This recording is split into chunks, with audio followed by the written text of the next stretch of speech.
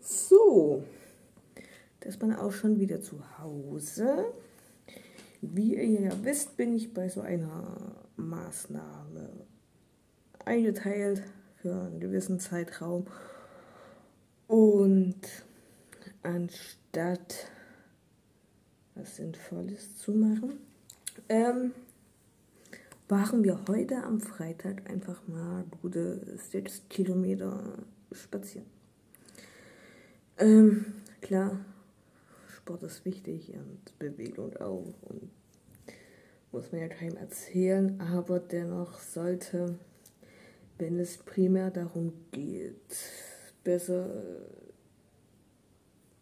ins Berufsleben zu finden und so was anderes gemacht werden, als spazieren zu gehen.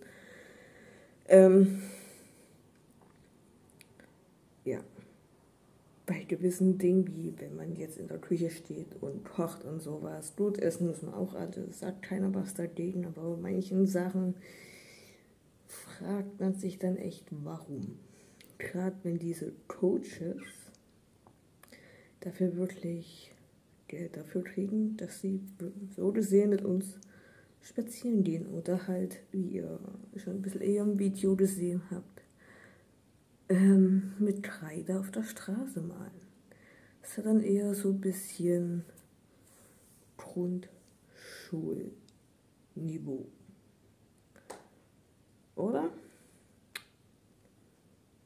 Aber kann man jetzt auch nichts machen. Und wer weiß, wie lange das